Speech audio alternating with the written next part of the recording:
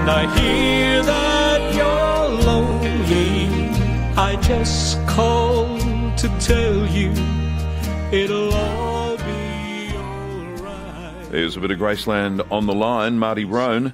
He's performed with the Stones, the Bee Gees, and John Denver, to name a few. Lots of television and theatre shows as well. At the moment, he stars in Lost Five by Daniel Keene as part of the Poppy Seed Theatre Festival. Marty Rhone, good afternoon. Good afternoon, Dennis. And you bring me greetings from from a canine. I do. Um, I'm currently in a film that's playing around Melbourne called The Comet Kids. Um, they say never perform with kids and animals, but I did. But the redeeming factor is I, I play the bad guy. So that's about as good as you can get if you're performing with kids and animals. and one of the stars of the film is Hamish, this beautiful Alsatian who's pretty much the hero of the piece, as animals are in kids' movies. Yes. And um, I, I posted on my Facebook page that I was uh, coming in to see you, and I got a message from from his handler saying Hamish is listening as well. There's Hamish. Thank you, Hamish. Hello, Hamish. Sit. Uh, good. What are we doing? Uh, tell me, tell me about Lost Five. Well, Lost Five, uh, on a slightly more serious note, is uh, it's a streetscape reminiscent of Flinders Street. It's all about the underbelly of society, and anybody who comes into the CBD or especially around Flinders Street will see exactly what I'm talking about. Yep. Is that it's a it's a micronism of, of people less fortunate than most of us, and the play, which was written by award-winning playwright Daniel Keene, is a series of five monologues of different people. There's a woman remembering her past, a milk crate philosopher, a savvy streetwise character, uh, um, a runaway seeking freedom, and an elderly elderly widow widower trying to find uh, how life goes on after the loss of his wife. And of course, the elderly widow is widower is obviously me, sadly.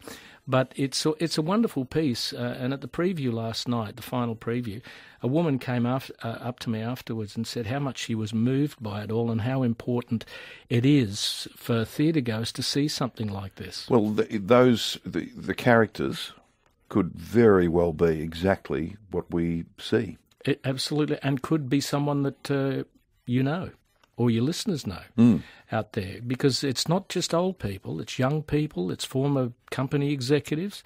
It's a micro, uh, microcosm of society. And it's yes, it's anyone from any part of society. Yeah, It can be. It can be. And why I was, uh, when I was asked if I would be interested in doing this play, I, I grabbed the opportunity because not only was it going to be my first dramatic uh, stage role, but what a what a what a role to do, what a what a play to do, which is really something that we're all now exposed to on a daily basis. Interesting story was that the director and the producer who put this on was motivated by an interview that uh, Brendan Nottle from the Salvation Army did with Neil Mitchell. Wonderful man.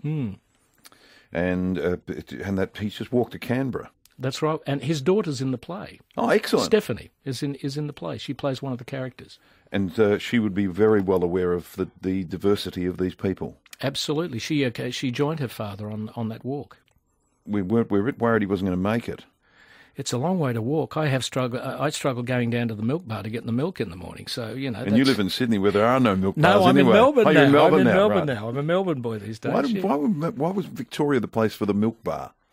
You've Because got- Sydney never used to have No, them. they've all gone in Sydney, but they're still around in Melbourne, which I think is, is wonderful. But they are beginning to uh, to disappear, sadly. Your song "Graceland on the Line" um, that that sort of got you back in the recording studio. Oh, amazingly so. I recorded it, as you know. I think we spoke earlier when I was in. LA earlier this year. Yep. And it was heard by a couple of record company execs over there who s- heard the song and saw the music video and offered me a recording contract. And uh, it led to the recording of this first country music album, which will be released early next year. Well, that is really good news. Well, no doubt we'll talk uh, when that when that happens. So, did you record that in Uh, well, Cactus Studios, not in Arizona. Cactus? Cactus Studios, not in Arizona, They're not working. New They're not cactus, are they? no. But it's in the Hollywood Hills. The uh, studio, Cactus Studio, is actually in the Hollywood Hills. So, a chance recording of the songs led you to record in L.A. That's cor- absolutely correct. And the producer is David Holman, who produced Olivia, uh, Gwen Stefani, and did the soundtrack albums for Grease and Xanadu. So You never know, do you?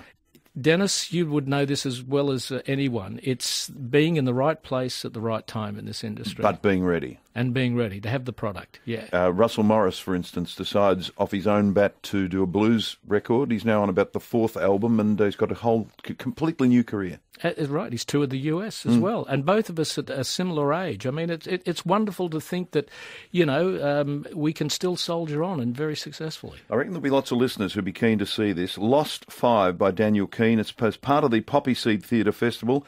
Opens tonight, runs until the 3rd of December at the Irene Mitchell Studio in South Yarra.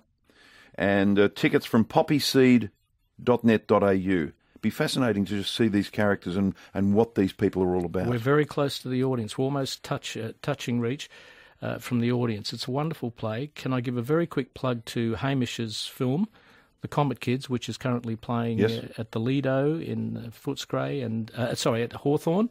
Lido at Hawthorn and also uh, the Metro uh, Boronia. It's playing at the moment, and the cameo in Belgrave. So. And I'd just like to ask Hamish, uh, how was the interview, Hamish? That was that was a ten out of ten. Do you know what the most disconcerting thing about the film was? What? The loudest cheer at the premiere of all the kids in the audience was me getting flattened by the big fat kid. Excuse me for saying See, fat. I'm I shouldn't laughing say too. that. I shouldn't say that. The the, the, the, big boy. The um, yeah, the big boy. Yeah. Uh, good to see you. Yeah. And we'll talk about the uh, the album in the new year, but this is all happening until the 3rd of December. Poppyseed.net au. Marty, thank you. My pleasure.